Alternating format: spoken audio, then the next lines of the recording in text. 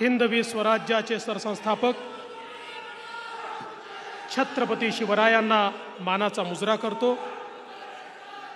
भारतीय राज्यघटनेचे शिल्पकार भारतरत्न डॉक्टर बाबासाहेब आंबेडकर यांना मानवंदना अर्पित करतो. आज परळीमध्ये आल्यानंतर दोन महत्त्वाच्या नाथांचं दर्शन आम्ही घेतलं. खऱ्या अर्थानं ज्योतिर्लिंग असलेलं आणि ज्यांच्या ऊर्जेने ह्या संपूर्ण संसार चाललेला आहे अशा परळी वैद्यनाथाचं दर्शन आम्ही घेतलं. आणि ज्यांच्या ऊर्जेमुळे राजकारणामध्ये आम्ही आहोत ते आमचे गोपीनाथराव मुंडे त्या गोपीनाथाचं दर्शन देखील आज या ठिकाणी घेतलं.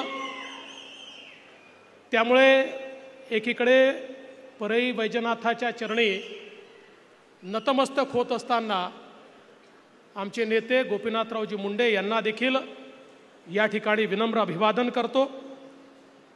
शासन आपल्या दारी ही संकल्पना ज्यांनी मांडली ते महाराष्ट्राचे लोकप्रिय मुख्यमंत्री आदरणीय एकनाथरावजी शिंदेसाहेब आपले धडाडीचे उपमुख्यमंत्री माननीय अजितदादा पवारसाहेब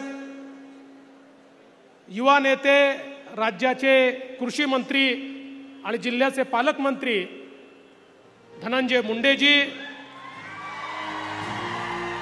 आमच्या भगिनी आपल्या जिल्ह्याचे माजी पालकमंत्री पंकजाताई मुंडे आमदार सुरेश अण्णा धस आमदार प्रकाश अण्णा सोळंके आमदार लक्ष्मण अण्णा पवार आमदार बाळासाहेब आजबे आमदार नमिताताई मुंदडा सुरेश नवलेजी भीमराव धोंडेजी मधुकर अर्दडजी दीपा मुंडेजी नंदकुमार ठाकूर मंचावरील सर्व मान्यवर आणि या ठिकाणी उपस्थित एवढ्या मोठ्या संख्येनं जिथपर्यंत माझी नजर जाते तिथपर्यंत मला लोकच लोक दिसत आहेत अशा माझ्या सगळ्या बीड जिल्ह्यातील सर्व भगिनी आणि बंधूंनो खरं म्हणजे धनंजय मुंडेंनी या ठिकाणी आल्यानंतर एक मिरवणूक ठेवली होती.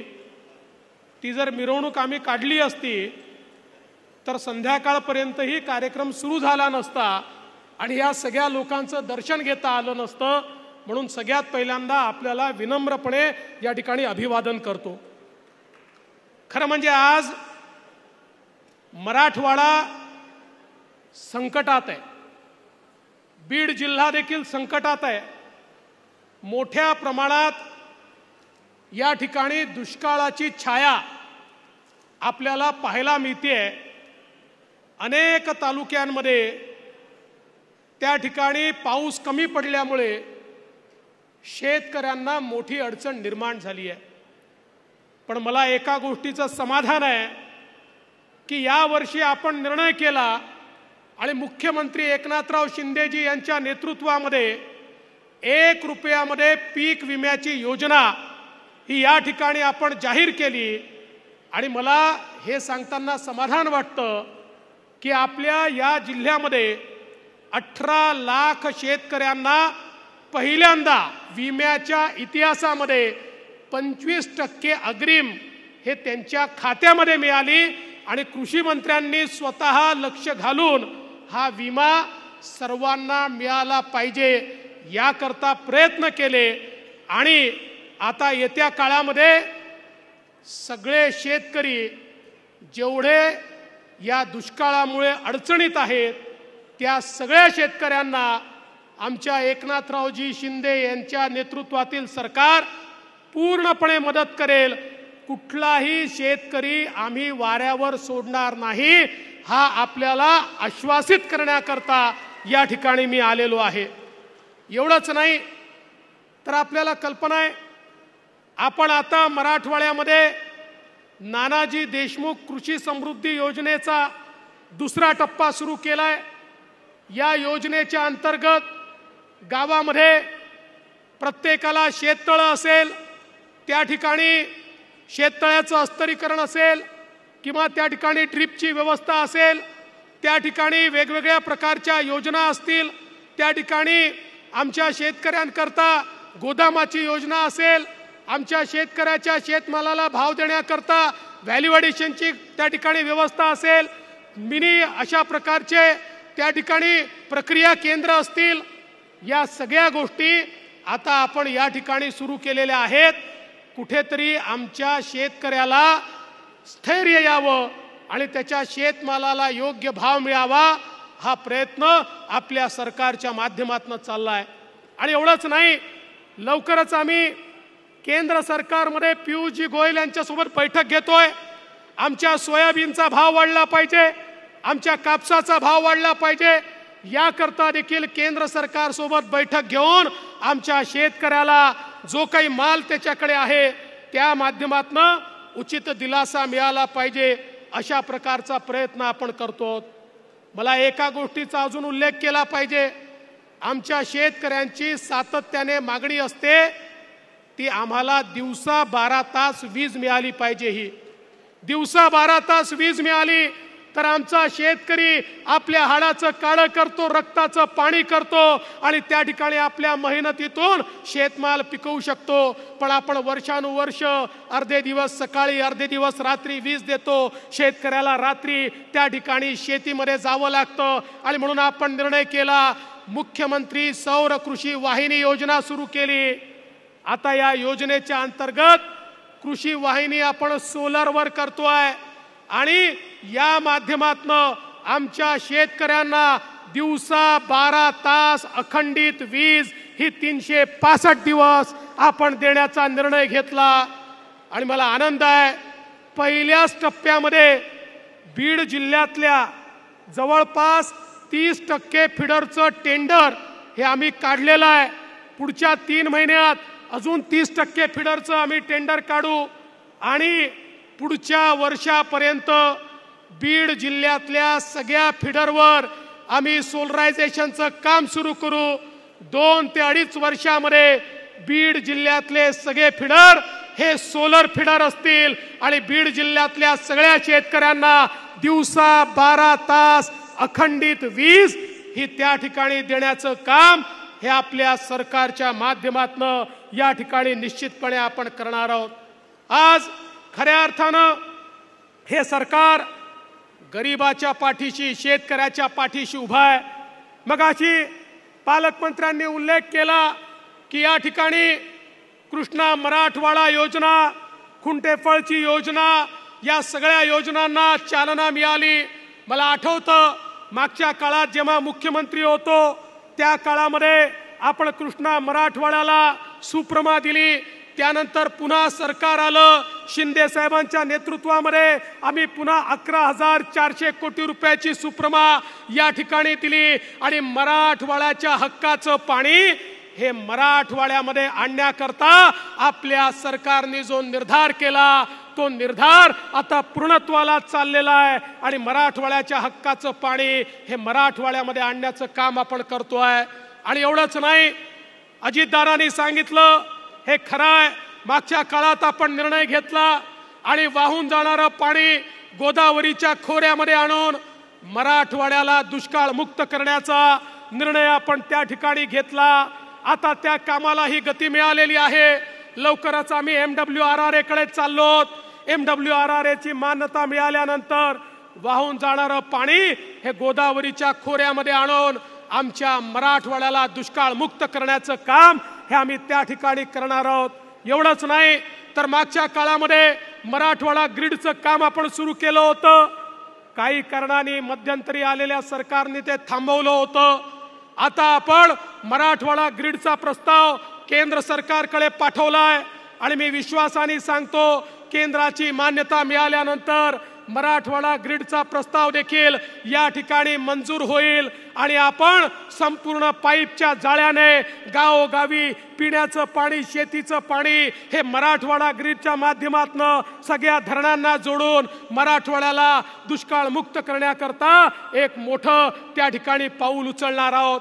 आणि म्हणून मला या निमित्ताने सांगायचं आहे आपलं सरकार सामान्य माणसाच्या पाठीशी उभं आहे. जलयुक्त शिवारच्या अंतर्गत मागच्या काळामध्ये पंकजाताईंच्या नेतृत्वात या जिल्ह्यात अतिशय सुंदर काम झालं. आता जलयुक्त शिवार टप्पा दोन आपण सुरू केलाय. मला विश्वास आहे जसं मागच्या काळामध्ये बीड जिल्ह्याने जलयुक्त शिवारमध्ये पहिला नंबर पटकावला याही वेळी बीड जिल्हाच या ठिकाणी पहिल्या क्रमांकावर जलयुक्त शिवारच्या अंतर्गत येईल आणि शेतकऱ्याच्या शेतीला पाणी देण्याकरता निश्चितपणे या ठिकाणी अतिशय उत्तम काम होईल. धनंजयजी आपण साठवण तलावाची मागणी केली होती. मी म्हटलं परळीला चाललो आहे. पुन्हा तुम्ही विचाराल काय झालं? कालच आठही साठवण तलावांना मी मान्यता दिलेली आहे आणि त्याचं काम देखील आता लवकरच आपण सुरू करतो. खरं म्हणजे या सरकारने घेतलेला एक एक निर्णय हा अत्यंत महत्त्वाचा निर्णय आहे. आज इतक्या मोठ्या प्रमाणात माता भगिनी या ठिकाणी आहे. पंकजाताई मागच्या काळामध्ये माझी लेख भाग्यश्री सारखी चांगली योजना आपण सुरू केली. आता त्याचा पुढचा टप्पा आपण सुरू केलाय.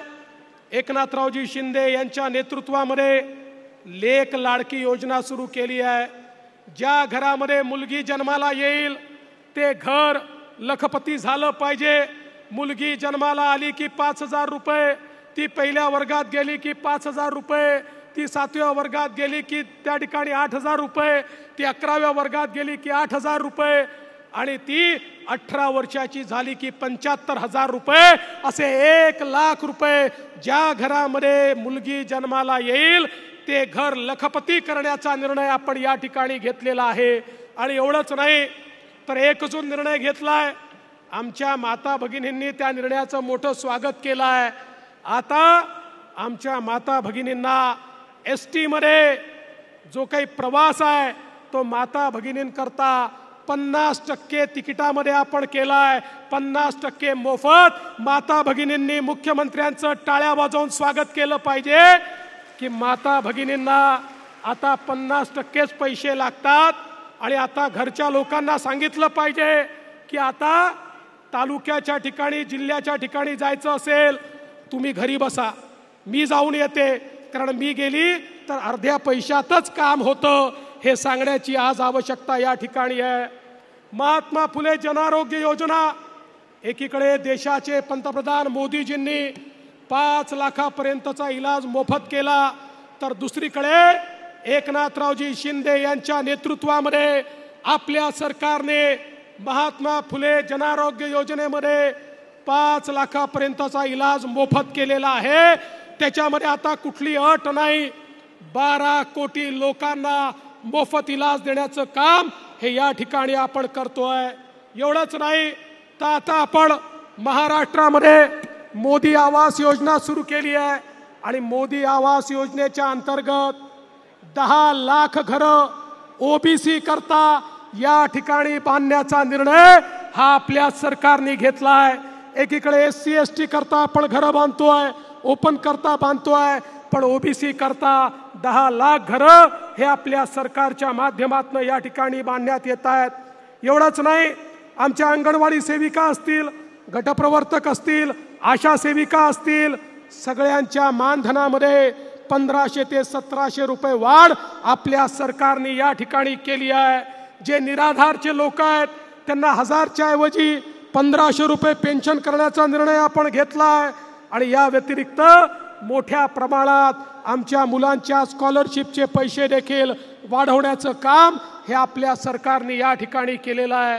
खरं म्हणजे शिंदे साहेबांच्या नेतृत्वात सरकारने गेल्या दीड वर्षात केलेल्या कामांची यादी जर मी वाचली तर इतक्या मोठ्या प्रमाणात ही कामं झाली आहेत की ही यादी वाचता वाचता अपुरी पडेल. पण या निमित्ताने आज एक मागणी धनंजयजी तुम्ही पण केली आहे पंकजाताईंनी पण केली आहे. ती म्हणजे वैद्यनाथाचं जे विकास आराखडा आपण तयार केला आहे त्याला केंद्र सरकारने देखील पैसे दिले पाहिजेत. माननीय मुख्यमंत्री निश्चितपणे त्याची शिफारस करतील आणि मी स्वतः त्या ठिकाणी जाऊन मोदी सरकारकडनं तो आराखडा मंजूर करून आणेन आणि आमच्या वैद्यनाथाला या ठिकाणी प्रसाद योजनेच्या अंतर्गत निश्चितपणे जे काही काम या ठिकाणी करण्याची आवश्यकता आहे जो काही कॉरिडॉर करण्याची आवश्यकता आहे तो कॉरिडॉर निश्चितपणे आपण तयार करू. खरं म्हणजे वेळ खूप झाला आहे मुख्यमंत्र्यांचं भाषण देखील ऐकायचं आहे. पण या निमित्ताने एवढंच सांगतो आम्ही तिघं एकत्रित आलो आणि आम्ही तिघं एकत्रित आल्यानंतर आमच्या मनामध्ये एकच ध्यास आहे. महाराष्ट्राचा विकास महाराष्ट्राला पुढे घेऊन जाण्याचं काम आम्ही करतो आहे पण काही लोकांना ते नको आहे. त्यामुळे ते लोक रोज ज्या प्रकारचे बेताल वक्तव्य करतात आम्ही त्याच्याकडे लक्षही देत नाही. आता काल परवा चार राज्याच्या निवडणुका झाल्या. आता निवडणुकांमध्ये सी एम साहेबांना आणि मला प्रचाराला बोलवलं. आम्ही प्रचाराला गेलो. आम्ही गेलो तिथेही चांगला विजय मिळाला. आता काही लोकांना तेही पोटात दुखतं. म्हणाले तुम्ही दुसऱ्या राज्यात का गेले? अरे तुम्हाला बाजूच्या घरात कोणी बोलवत नाही आम्हाला दुसऱ्या राज्यात बोलवतात तर तुमच्या पोटामध्ये का दुखतं? हा माझा सवाल आहे. आता पुढच्या वेळेस तर अजितदादांना देखील घेऊन जाणार आहे. म्हणजे दोन चार सीटा दादा अजून वाढतील. पण हे सगळं झालं तरी आमचं लक्ष कुठे आहे? आमचं लक्ष हे महाराष्ट्रामध्येच आहे. या महाराष्ट्राला सुजलाम सुफलाम केल्याशिवाय आम्ही शांत बसणार नाही. इथले दीन दलित गोर गरीब आदिवासी शेतकरी शेतमजूर या प्रत्येकाच्या जीवनामध्ये परिवर्तन केल्याशिवाय आम्ही या ठिकाणी चूप बसणार नाही. आणि म्हणून जाता जाता केवळ एवढंच सांगतो. मग अशी आमच्या पंकजाताई म्हणाल्या की सगळ्यांना ही उत्कंठा आहे की आज या स्टेजवर पंकजाताई पण आहेत आणि धनंजय मुंडे पण आहेत. मी दोघांना विनंती एवढीच करेन की तुम्ही असेच एका स्टेजवर राहा आणि आमच्या तिघांची ताकद तुमच्या पाठीशी अशी उभी करू की परळी असेल बीड असेल काहीही पाहायची आवश्यकता नाही. आम्ही पूर्ण ताकदीने ताई तुमच्या पाठीशी आहोत आणि तुम्ही सगळे जर एकत्रित राहिलात तर परळीचंही कल्याण होईल बीडचंही कल्याण होईल आणि महाराष्ट्राचंही कल्याण होईल. आणि म्हणून हा मंच असाच आम्हाला दिसत राहील. हा विश्वास व्यक्त करतो आणि माझं बोलणं संपवतो. धन्यवाद. जय हिंद जय महाराष्ट्र.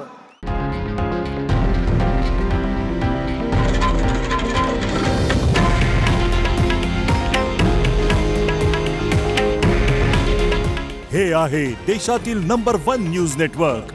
आणि आपण पाहत आहात टी व्ही नाईन मराठी. काळजी तुमची हित महाराष्ट्राचं.